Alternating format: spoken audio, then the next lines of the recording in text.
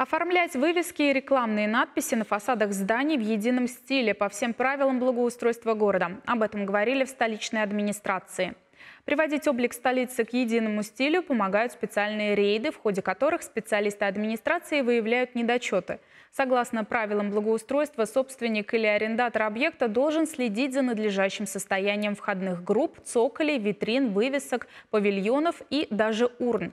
Среди частых нарушений нарисованные граффити, приклеенные к стенам рекламные листовки, неправильно оформленные вывески, поврежденные таблички с адресами – если собственник или арендатор, к примеру, кафе, офиса или магазина откажется устранять выявленные огрехи, на него составляют протокол об административном правонарушении.